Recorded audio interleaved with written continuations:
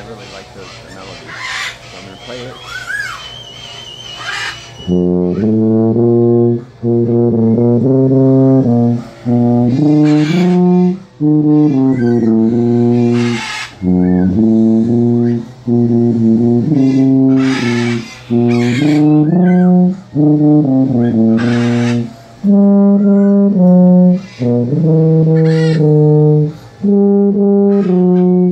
it.